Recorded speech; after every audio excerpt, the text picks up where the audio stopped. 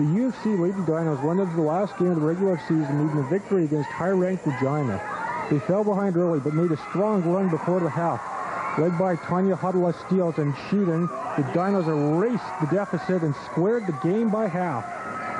In the second half, the Dinos picked up where they left off and cruised into the playoffs with a victory over the Regina Cougars. He came out there slow tonight. What was the turning point?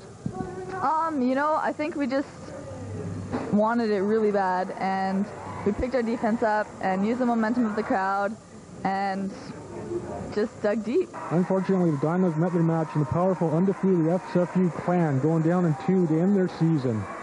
The men's team was in a three-way chase in the Mountain Division with the U of A and U of S. The final weekend against Brandon and Regina would set up their playoff fortunes. High-powered Brandon would use speed to set up shots and force turnovers. Eventually, a two-point Dino loss would cost them the bye despite an heroic effort against the mighty Bobcats. The following night, with a home playoff game on the line, the Dinos got the W against Regina. Senior Ian Ferguson, in his last regular season game as a Dino, led the Dino charge. The Duncan of the Cougars set up a showdown with U of A. We needed this win tonight, and we went out and played hard all game and, and went and got it. How does this feel your last home regular season game with the Dino? It's a little bit sad, but there's a lot of good memories here.